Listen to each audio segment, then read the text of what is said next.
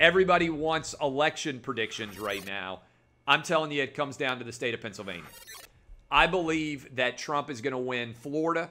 We're going to have the governor of Florida, Ron DeSantis, on the radio program tomorrow morning, by the way.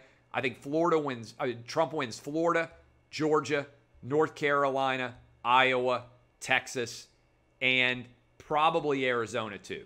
If Trump holds all those states, which I think he is going to do, then ultimately the race is going to come down for Joe Biden. He's going to have to flip all the Big Ten states. Okay.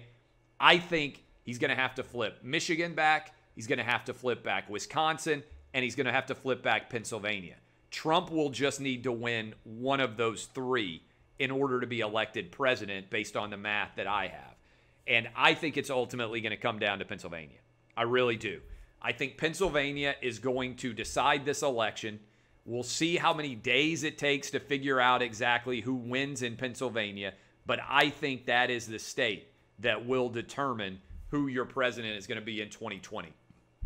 I don't buy into this idea that Biden is going to win with a landslide. I think all these polls are tight. I think the amount of voter enthusiasm for Donald Trump is off the charts. I think it's easier to motivate people to go vote for you than it is to motivate people to go vote against you. And I believe that ultimately Trump has a very good chance of winning in 2020. Uh, just like he did in 2016, I think a lot of these polls are having trouble tracking people because everybody's got cell phones now. I do believe there are a lot of people who are going to vote for Trump that don't want to admit that they're doing so. And by the way, I think there are, I don't think, there are a ton of people in my industry. If you haven't read my column, I'm going to tweet it out in a little bit why I'm voting for Donald Trump. I think there are a lot of people in my industry. I think there are a lot of people in the country that are voting for Donald Trump that would not say so publicly.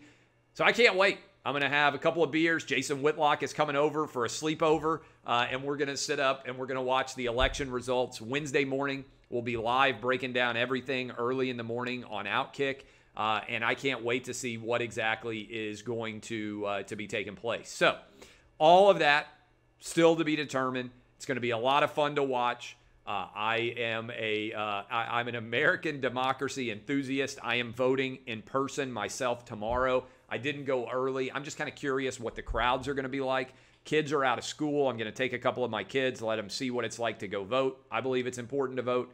Uh, it's literally the least we can do uh, to support democratic institutions, whether you agree with me or disagree with me. Uh, I uh, I'm not going to judge you if you're a Biden person or if you're a Trump person, but I do believe in authenticity and telling you guys exactly what my vote will be.